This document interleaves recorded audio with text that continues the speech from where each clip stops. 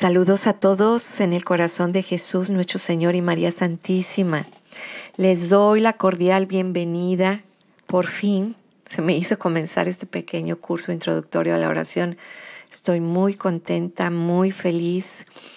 Quiero compartirles que este, este curso va a ir dirigido a todos o está dirigido a todos, pero sobre todo a aquellos hermanitos, aquellas personitas que se arrimen a escucharlo con un corazón humilde, con un corazón sencillo, con deseos de aprender algo nuevo.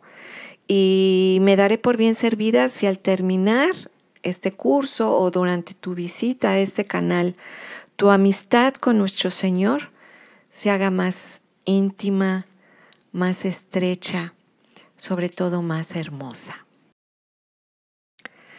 El canal se llama, como ya se dieron cuenta, Orar, Orar, Orar.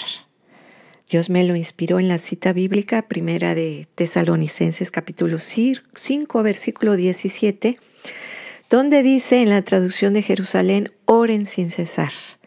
En la Biblia latinoamericana, oren constantemente. Y en la Biblia Dios habla hoy, oren en todo momento. Si ustedes ya se dieron cuenta, este canal se va, se divide, no se va, se divide en varias secciones. Y la primera sección, que es la que estamos comenzando hoy 28 de marzo del 2022, es el curso introductorio a la oración. Tenemos la sección de oraciones, donde estamos colocando oraciones muy bellas como la que ya tenemos de la oración al Sagrado Corazón de Jesús. Tenemos la sección de salmos, la sección de anécdotas, pensamientos y frases sobre la oración, la sección de niños, la de testimonios por el poder de la oración y una sección muy especial, muy hermosa. Por eso ahí la están viendo en blanco porque es una sorpresa, pero ya se las voy a decir. Esta sección va a consistir en ir a visitar mansiones. Como esta, me preguntarán. ¿Nos vas a enseñar mansiones de Beverly Hills? No, tengo aquí Beverly Hills cerquita, unos 45 minutos, pero no.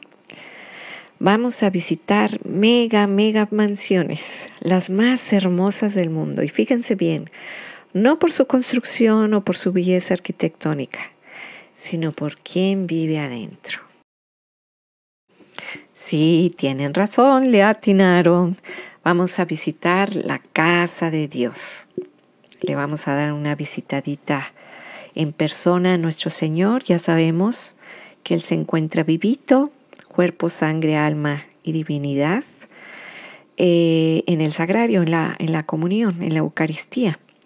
Vamos a comenzar por las iglesias de Los Ángeles, California, y les vuelvo a repetir, son las mejores mansiones del mundo y no tanto por su lujo arquitectónico, sino por quien vive ahí. Vamos a ver templos desde muy sencillitos, pero también de una belleza física preciosa. Bueno, al visitar los templos vamos a dar una reseña rapidita de la historia del, del templo, su estilo arquitectónico, pero lo principal es que vamos a saludarlo en el sagrario. Eso me da mucha emoción. Ahí donde Él permanece día y noche y que día a día Él nos espera que lleguemos, lo saludemos, platiquemos con Él, le digamos si estamos alegres, si estamos tristes o nos sentimos solos, deprimidos. Él está ahí, ahí en el sagrario, para abrazarnos, para consolarnos. Bueno, aquí les presento el temario de todo el curso. Eh, en este cuadro sinóptico podremos ver todos los temas. El primero que va a tratar sobre la definición e importancia de la oración. El segundo, técnicas y métodos de la oración.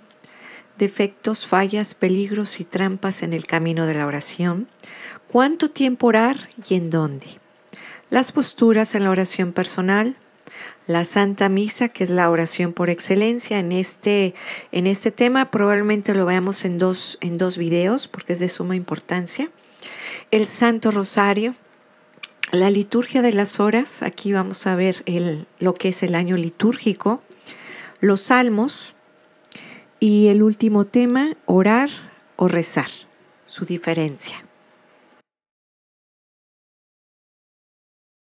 Este video fue como una introducción a nuestro curso.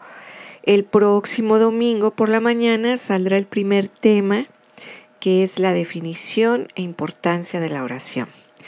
Vamos a procurar que cada domingo salga un video. También vamos a tratar que los temas sean cortos, dando los temas de una manera sencilla y concisa. Muchísimas gracias de corazón, gracias por, por su atención, por su tiempo. Espero que no los haya dormido. que la Santísima Trinidad, Padre, Hijo y Espíritu Santo y María Santísima me los bendigan siempre. Gracias.